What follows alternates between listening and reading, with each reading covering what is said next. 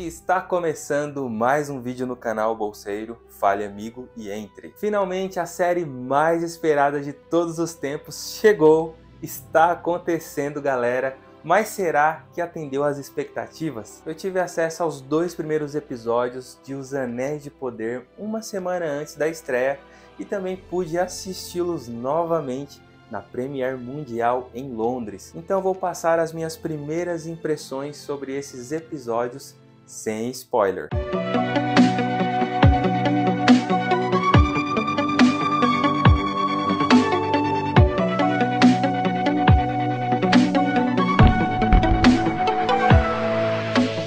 Não é novidade para ninguém que eu tenho falado que essa é a maior série de todos os tempos. Tenho dito isso por conta dos números exorbitantes da série. Então é um fato mesmo. Mas será que souberam utilizar bem todo esse investimento? Será que fugiram muito do que Tolkien escreveu? Será que a série trouxe de volta a Terra-média às telas? Com base apenas nos trailers, os haters têm torcido para a série flopar.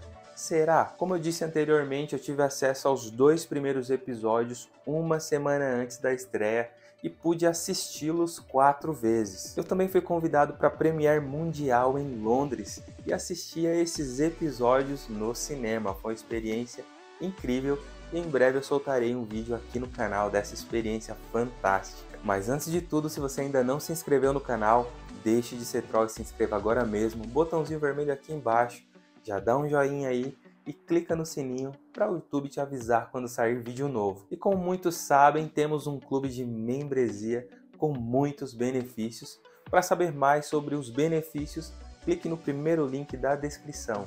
Quero te convidar a fazer parte da nossa Sociedade do Anel. Então vamos às minhas primeiras impressões, obviamente sem spoilers. Primeiramente eu quero dizer que eu acertei muita coisa nas análises dos teasers, dos trailers, outras eu passei raspando. Em relação ao enredo, posso dizer que respeitaram muito a obra de Tolkien mas como é uma adaptação feita não só para o fandom, mas também para o público geral, que não leu nada de Tolkien, tem algumas mudanças. São pequenas mudanças envolvendo principalmente Finrod Felagund e Galadriel, mas que achei até necessárias para explicar o objetivo de Galadriel e por que ela está tão obcecada em encontrar o mal, ou mais especificamente Sauron. Isso a gente já viu nos trailers, ela falando até que tomou para si né, a missão de seu irmão Finrod, mas nesses episódios isso tudo é explicado melhor e eu achei que ficou bom a amizade dos dois irmãos é muito bonita. Também podemos sentir já de cara a compressão da linha do tempo, alguns personagens e cidades existindo ao mesmo tempo, mas também ficou muito natural. Até agora, todas as motivações e espaços que Tolkien não explicou foram maravilhosamente desenvolvidos na série. Todas as sacadas foram muito inteligentes. Exemplos: Tolkien não explica como que foi criada a amizade entre Eregion e Casadon, como Celebrimbor se tornou tão amigo dos anãos a ponto de forjarem tantas coisas juntos e de se tornar o melhor amigo do anão Narvi. Não temos muitos detalhes de como era o relacionamento de Elrond com Galadriel, que se tornou a sua sogra, né, posteriormente, nem como eram os relacionamentos entre todos esses elfos como Gil-galad, Galadriel, Círdan Celebrimbor, Elrond e etc. Todos eles chegaram a morar por um bom tempo no mesmo lugar, em Lindon, e a série mostra tudo isso, todo esse enredo de forma genial. Todos os arcos estão bem feitos até agora e estão divididos por regiões do mapa da Terra-média. Então as cenas vão intercalando entre um local e outro da Terra-média. Lindon está lindo mesmo, nosso querido Gil Galudão está majestoso, Benjamin Walker arrebentou, inclusive eu conversei um bom tempo com ele em Londres é casado com uma brasileira e fala português também. Mas isso é um assunto para outro vídeo. Eu conversei muito tempo com quase todos os atores da série. Mas no primeiro episódio eu odiei Elrond e Gil-galad. Na verdade, todo elfo é injusto com Galadriel, mas esse ranço com eles é só no primeiro episódio. Depois eles se convertem, tá tudo certo.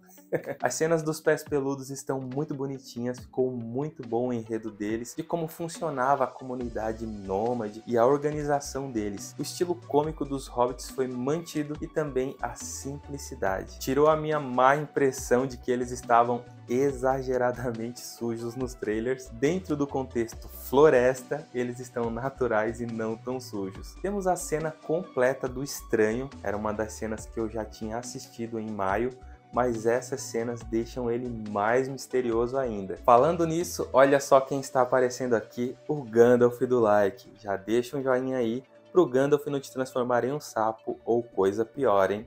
O arco de Elrond, Durin IV e Dissa é muito bom.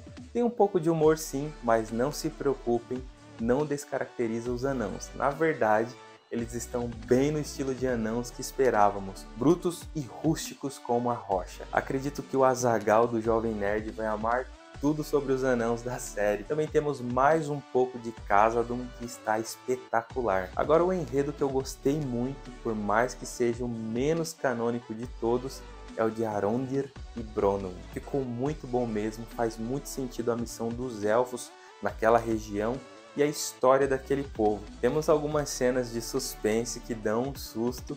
Com certeza foi coisa do J.A. Bayona que dirigiu esses dois primeiros episódios. Também temos nesses episódios o encontro completo de Galadriel e Halbrand. Ainda não explica nada do Halbrand, mas são cenas bem molhadas, literalmente. Então, em relação ao enredo, a história mesmo, eu amei. Me sinto novamente na Terra-média, um pouco mais nova e esplêndida, mas ainda Terra-média. Eu daria nota 10 para esses episódios no quesito enredo. Lembrando que eu não sou um especialista de cinema ou TV, sou apenas um fã e estudioso de Tolkien e sua obra, e claro, um apreciador intenso da sétima arte. Pareceu palestrinha do choque de cultura agora, né? Falando em audiovisual, ultrapassa qualquer série produzida até agora. Eu assisti os dois primeiros episódios de House of the Dragon. Existe um abismo bem grande entre as duas séries nesse quesito. E eu vou mais longe, a série está no nível audiovisual de filmes 2023 para frente. Mas como assim? Não temos ainda filmes de 2023 para assistir? Pois é, então é algo nunca visto antes. A fotografia está surreal, paisagens lindas, CGI de alto nível, a trilha sonora está impecável, Bear McCready arrebentou, ficou épico nota 10 pro audiovisual. Para finalizar, vamos aos pontos negativos. Eu não curti ainda o personagem Theo, não me convenceu, parece um adolescente meio chato. Ainda não vemos a importância dele na série. Claro que isso pode mudar, mas por enquanto não curti. O arco de Galadriel e Halbrand achei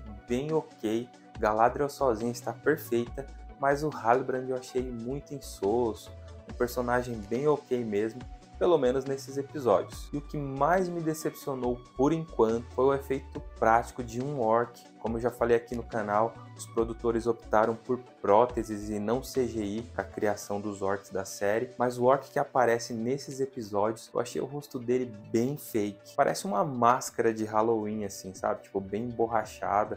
Eu acredito que só esse orc que está fake assim, porque já vimos imagens de outros orcs em outras cenas e estão muito boas. Resumindo, na minha opinião, os Anéis de Poder está entregando acima do esperado, me fez chorar, me fez rir, me deixou de boca aberta e também me deu um leve susto. Está emocionante impactante. Tudo isso em apenas dois episódios. O segundo episódio acaba exatamente em um momento que faz com que fiquemos ansiosos pelo terceiro episódio. E para quem está preocupado com algumas fake news aí da série, até agora você pode assistir com a sua família tranquilamente. Nada de violência extrema, nem nudez, nem nada do tipo apenas um suspense de leve mesmo, exatamente como os showrunners falaram na entrevista para a Vanity Fair. Patrick McKay disse que o objetivo foi, aspas, fazer um programa para todo mundo, para crianças de 11, 12 e 13 ainda que às vezes elas precisem tapar os olhos se ficar um pouco assustador. Eu acredito que vocês vão gostar muito, escrevam nos comentários o que vocês acharam das minhas impressões, se criei mais expectativas ou não. E é isso galera, o vídeo vai ficando por aqui, eu espero que vocês tenham gostado.